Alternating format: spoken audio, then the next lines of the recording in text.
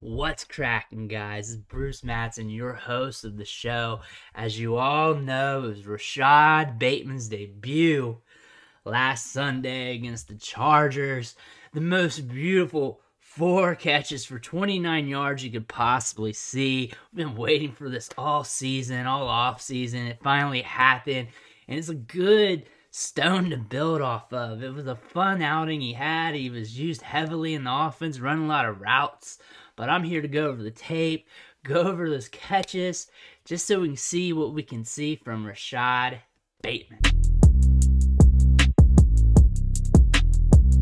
All right, here's the first play here. Bateman's at the bottom of our screen here. He's off ball. He's got a lot of cushion in front of him with a DB ahead of him, probably about five, six yards or so. We're going to go ahead and run the snap here. Bam. And you see him selling deep off the rip. Right here, right off the go, right off the snap. Selling deep, head down, shoulders down. Moving up. And then right here, drops the hips. Skirt. Runs that little curl route. Flips those hips over. Earns the target. Look, no one's around him at all. Easy pitch and catch. DB closes in on him. Tries to make something happen gets a little YAC for you. Not bad.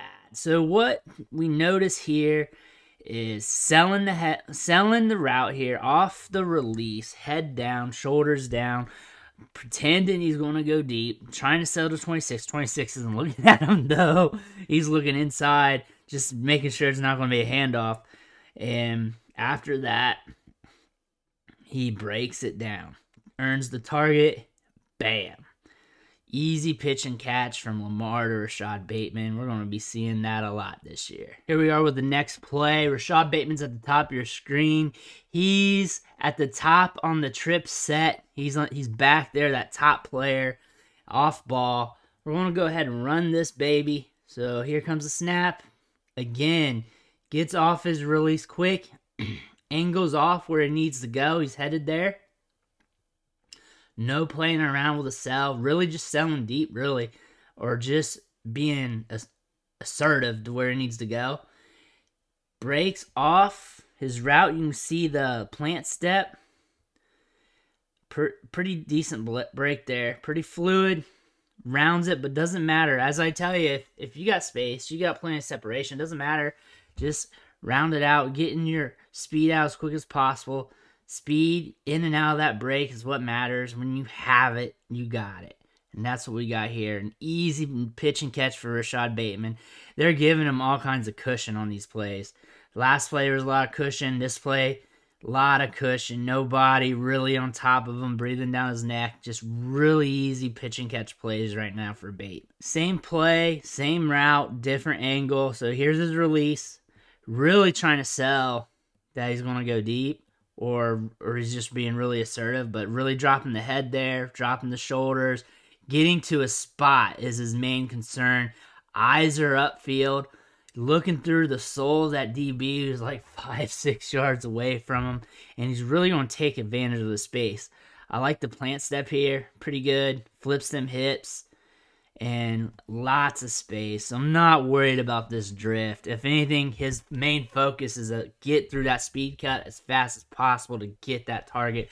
That's what he does here and earns it. Bam, right there, catches it. Look at that catch real quick. Right to the hands, not into his body at all. Bam, hand, eyes on the ball, looking upfield, gets tackled just an easy pitch and catch play from Lamar to Bateman. On this play, Bateman's at the bottom of your screen. From what we see, no one's on top of him, but they've been playing off a lot in this game. They've been giving them a lot of cushion, so I wouldn't be surprised if you checked all 22 that there's another DB back there shadowing him. I guarantee there is. But as for what we see, that's not the case. Marquise Brown's going in motion. Here's the play ran. And here he's getting to a spot off the release he is very assertive off the line on all three of these routes. This play is also very assertive. He's getting to a spot in the zone, breaks it down, finds it, earns the target, makes the catch. Nothing really to note here. Just basic pitch and catch.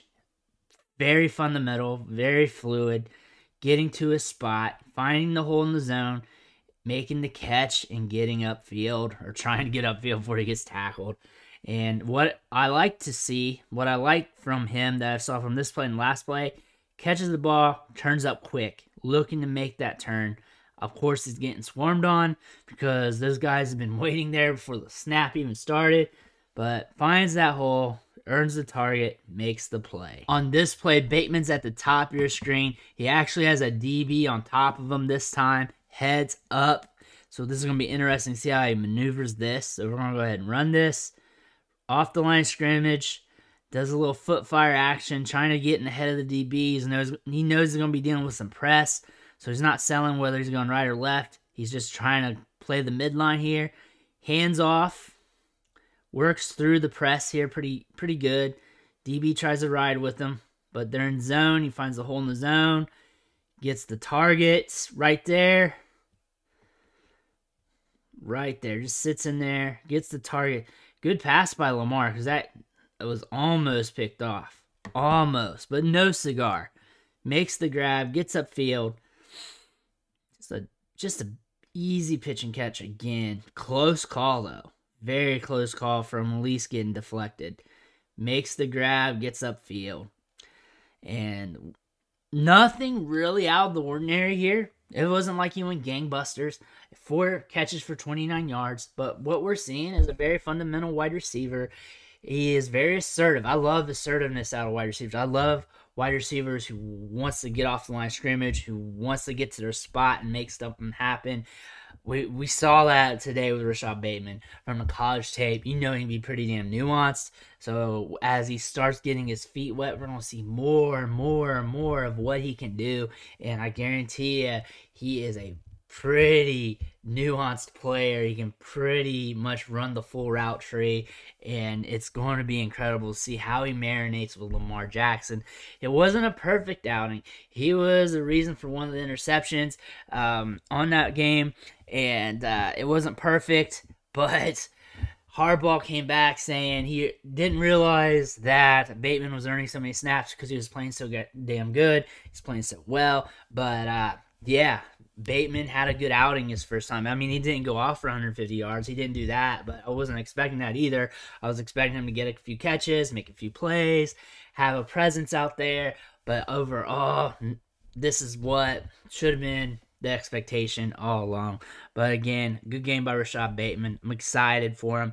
Make sure he's not on the waiver wire on your fantasy leagues, especially if you got deeper benches, especially if you got a running back or a wide receiver who's just average or just placeholders, drop him. Get Rashod Bateman. See if he can go to the moon. If not, drop Bateman. But this is a player that could become a Justin Jefferson three weeks from now. Three weeks from now, he could be one of the best wide receivers in the league production wise because he has the talent, draft capitals there. So, a guy to look for in fantasy. But I want to thank you for watching the show, sticking with me. Make sure you hit that subscribe button on the way out. Every subscription matters. It fuels me to keep putting out this content, fuels me to go over the tape with you guys, help you out with your fantasy teams and everything else. Again, I want to thank you, and I'll catch you next time.